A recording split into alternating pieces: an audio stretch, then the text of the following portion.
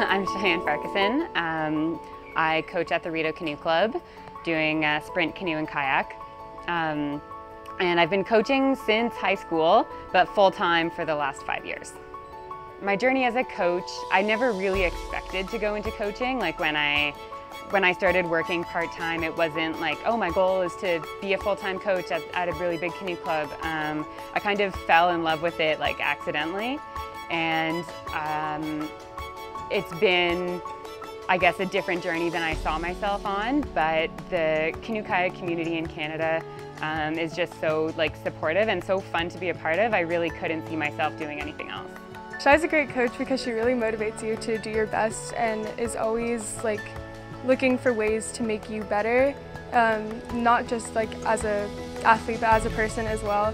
She really cares about each and every athlete like a lot. she always says, have fun.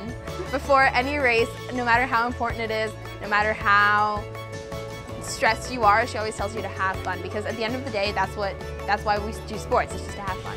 I would like to thank Shai for all the four or five years that I've been here for always being there and pushing me to every boundary I had just to make me a better athlete and for being so caring.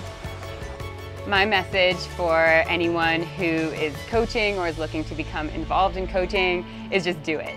Um, it doesn't matter at what level or what age or what you think your abilities are, everybody can coach. Um, you don't need a fancy title or degree or anything like that.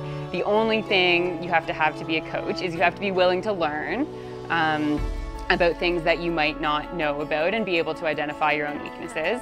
Um, and you have to care because if you care, then you're going to find a way to make sure that your athlete gets what they need.